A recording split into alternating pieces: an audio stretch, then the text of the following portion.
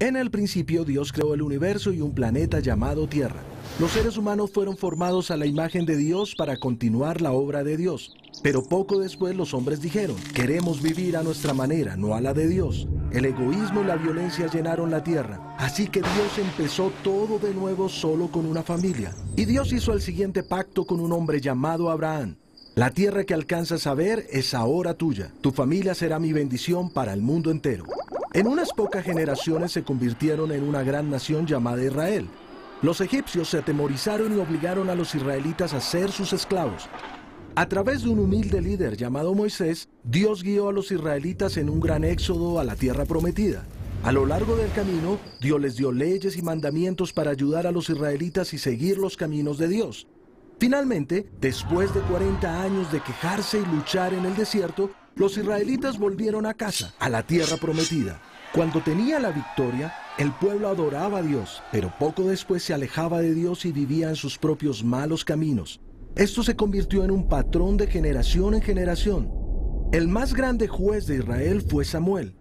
Él siguió los caminos de Dios y hablaba por Dios como profeta. Samuel le dijo a Israel que Dios era el único rey que necesitaban, pero ellos querían ser como las naciones corruptas que los rodeaban e insistieron, queremos un rey humano al que podamos ver y que nos gobierne, así como las otras naciones tienen rey.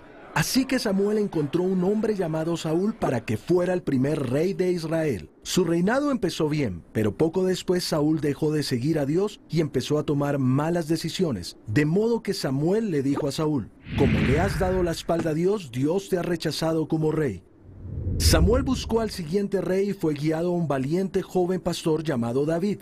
Cuando David creció lo suficiente para ser rey, Dios lo bendijo a él y a los israelitas en gran manera. Pero David no era perfecto. Tuvo una relación con una mujer casada y cometió un homicidio para ocultar su relación. Pero muy dentro de sí, David siempre amó a Dios y volvió a vivir en sus caminos. Conocido como el poeta, David escribió música para Dios llamada salmos. Eran sentidas expresiones de oración, luchas y acción de gracias. Después de ser rey durante muchos años, David le dejó el trono a su hijo Salomón. Dios también le dijo a David que un día uno de sus descendientes reinaría y que su reino no tendría fin.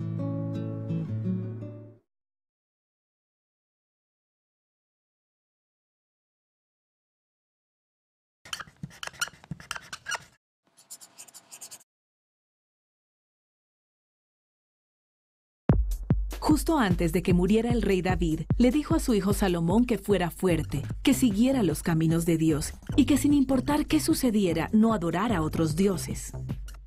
Poco después de que Salomón asumió como rey, Dios se le apareció y le dijo, pídeme lo que quieras que te dé. Como Salomón quería seguir los pasos de su padre, le pidió a Dios que le diera sabiduría para conocer la diferencia entre lo bueno y lo malo. Dios le prometió que le daría no solo sabiduría, sino también grandes riquezas y honra. La primera prueba a la sabiduría de Salomón llegó cuando dos prostitutas vinieron a él. Había un bebé y cada una de ellas decía que era suyo. Salomón sabía que una de las dos mentía, así que les pidió a sus siervos que trajeran una espada y les dijo a las mujeres que cortaría al bebé en dos para que cada una tuviera la mitad. Una de las mujeres se preocupó tanto de que mataran al niño que inmediatamente le dijo a Salomón que le diera el niño a la otra. Salomón vio el amor y protección de esta mujer y supo que el bebé tenía que ser hijo de ella, así que se lo entregó. Los israelitas se asombraban de la gran sabiduría de Salomón. Gobernó por muchos años y sus riquezas y su fama aumentaban. También escribió muchos dichos sabios llamados proverbios. Durante su reinado, Salomón quería terminar de construir el templo que su padre David anhelaba. Construyó uno que no era tan grande, pero increíblemente hermoso y tenía muchos detalles. Medía 27 metros por 9.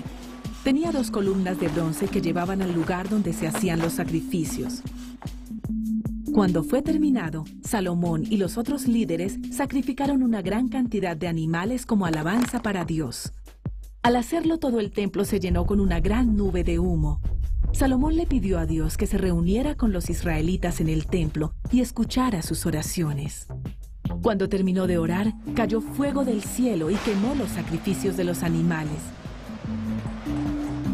Esa noche, Dios se le apareció a Salomón otra vez y prometió bendecirlo a él y todo lo que él hiciera mientras que no se alejara de Dios. En algunas áreas Salomón hizo lo que Dios le ordenó, pero en otras, como adorar otros ídolos, falló.